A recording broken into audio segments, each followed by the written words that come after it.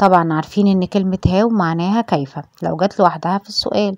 طيب لو حطينا وراها كلمة تانية هيتغير معنى السؤال زي how old كم للعمر؟ how many كم للعدد؟ بيجي وراها اسم يعد حاجة ينفع عدها countable noun. طيب how much كم للكمية؟ بيجي وراها uncountable noun اسم لا يعد. زي الأمثلة اللي عندنا دي how old are you عمرك قد إيه؟ Example مثال هتقولي I am 30 years old. أنا عندي 30 سنة. طب لو قلت لك سؤال تاني how many brothers have you got? كم عدد الإخوات عندك؟ فهتقولي I have two brothers. عندي أخين. طيب سؤال تالت how much oil? كم عدد الزيت